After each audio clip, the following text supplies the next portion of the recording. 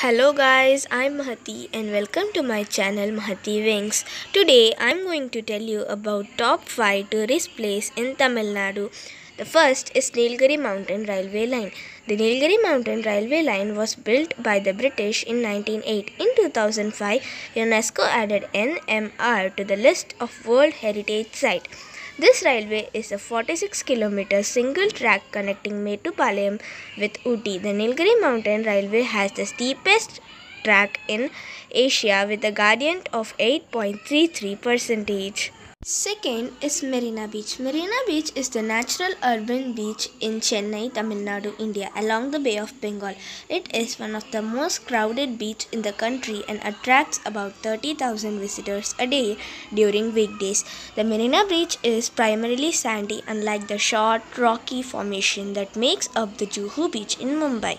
The average width of the beach is 300 meters, 980 feet. Third is Shore Temple. The Shore Temple is located near Chennai in Tamil Nadu. It is structural temple built with blocks of granite dating from the 8th century AD.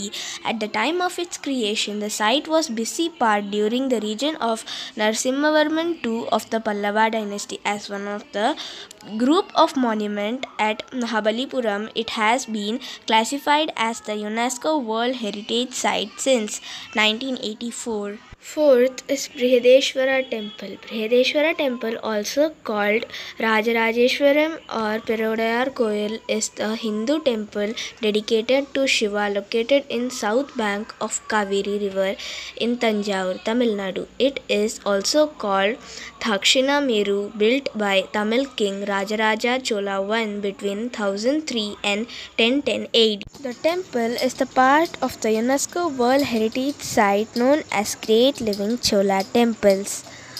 At last, Doddabetta Peak. Doddabetta is the highest mountain in the Nilgiri mountain at 2637 meters, 8652 feet. There is a reserved forest area around the peak. It is 9 km from Ooty on the Ooty Kotagiri road in Nilgiri district at Tamil Nadu, India. It is the fourth highest peak in South India. So yeah, that's all for today. If you like this video, please like, share, comment and subscribe to Mahathi Wings. And thanks for watching.